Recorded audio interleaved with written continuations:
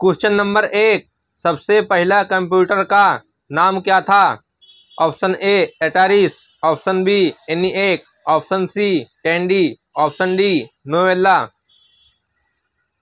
हमारा right answer है option B ENIAC question number दो, आधुनिक कंप्यूटर की खोज सर्वप्रथम कब हुई थी? ऑप्शन ए उन्नीस सौ उनचास. ऑप्शन बी उन्नीस सौ इक्यावन. ऑप्शन सी उन्नीस सौ छियालीस.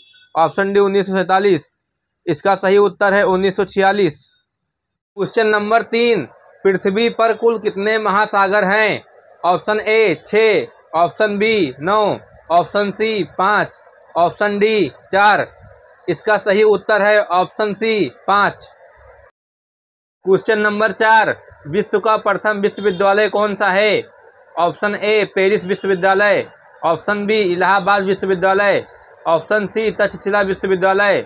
ऑप्शन डी, आसम विश्वविद्यालय। इसका सही आंसर है ऑप्शन सी, तक्षशिला विश्वविद्यालय। क्वेश्चन नंबर फाइव, वायुयान से उड़ान भरने वाले विश्व के प्रथम व्यक्ति कौन थे? Option A, Plato. Option B Wright बंधु। Option C, Rakesh Sharma. Option D, Clement Italy. इसका सही आंसर है ऑप्शन बी राइट बंधु। क्वेश्चन नंबर छः विश्व का प्रथम कागज़ी मुद्रा जारी करने वाला देश कौन सा है? Option A, Japan. Option B, चीन। ऑप्शन सी, रूस। ऑप्शन डी, संयुक्त राज्य अमेरिका। इसका सही उत्तर है ऑप्शन बी, चीन। क्वेश्चन नंबर सात, भारतीय जनता पार्टी का स्थापना कब हुआ था?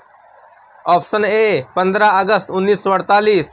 ऑप्शन बी छः अप्रैल उन्नीस सौ अस्सी।